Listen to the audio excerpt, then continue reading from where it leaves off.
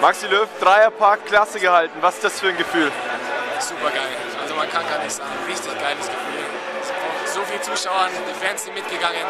Die ganze Mannschaft hat einfach gesehen, dass wir das Ding unbedingt gewinnen wollten. Und wir haben alles gegeben und wir haben uns das, die ganze über einfach verdient, weil wir sind immer wieder zurückgekommen. Wir haben Tiefschläge erlebt, aber eben wir haben uns immer wieder auf, aufgebaut und nächstes Jahr wieder Regionalliga. Einfach geil. Und Wie wichtig ist für den Verein FC Augsburg, dass ihr jetzt die Klasse gehalten habt?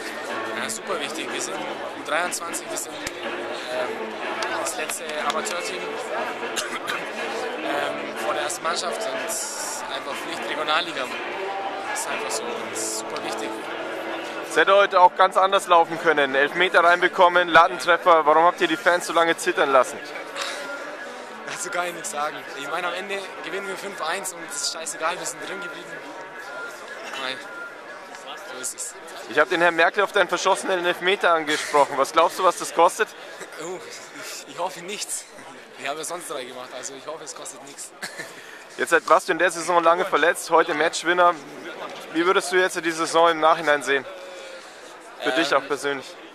Ja, natürlich ein Erfolg. Wir haben, wir haben die Regionalliga gehalten. Ich habe meine Tore habe ich gemacht. Links außen jetzt habe ich elf oder zwölf.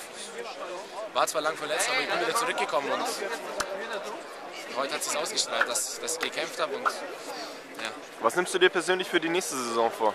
Ja, auf jeden Fall ist wieder der Klassenerhalt vielleicht nicht ganz so spannend wie dieses Jahr machen und weiter an der Leistung jetzt anknüpfen. Super, Dankeschön.